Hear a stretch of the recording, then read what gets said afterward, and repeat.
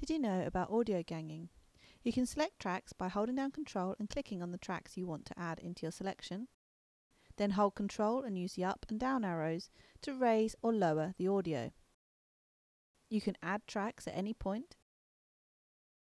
The audio selections don't have to be continuous, so you can select any tracks anywhere in your edit. And using the up and down arrows to raise and lower the audio levels. You can also lasso tracks and then take tracks out by holding control and selecting them. Thank you for watching. That was audio ganging.